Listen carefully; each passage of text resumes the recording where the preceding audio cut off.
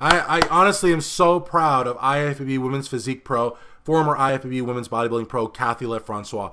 Cathy met a little girl apparently who had cancer, had treatment, and what she did was really nothing short of amazing. Let me read to you what Cathy had to say. Quote, this little girl I met other month was looking at me, touching my hair, and say how lucky I was to be so beautiful. She had treatment and lost all her hair. So I say, no, no, no. What are you saying? Beautiful is not an outside thing. So I cut mine to show her that hair was like a cap of baseball.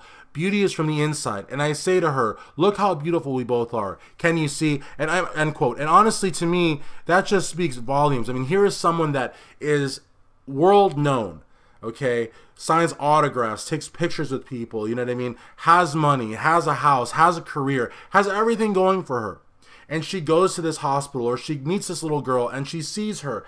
And the little girl is just you know dazzled by her beauty you know what i mean? And instead of just saying to her you know things are going to be better or you're beautiful or beauty's on the inside while she brushes her hair and walks away and drives off into her great life but no.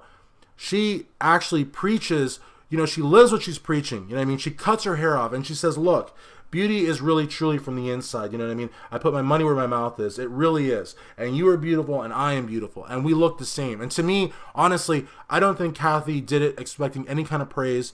You know what I mean? But I think that she should get it. I think that it's so cool that, you know, she did this and she did it for all the right reasons and she did it from the heart. And I, I guarantee you, that she probably made that little girl's day, if not her week, if not her year. And that's truly, truly beautiful. And so I can't but clap or praise or make a video for Cathy Lefrancois because truly it moved me. And I know that it moved you.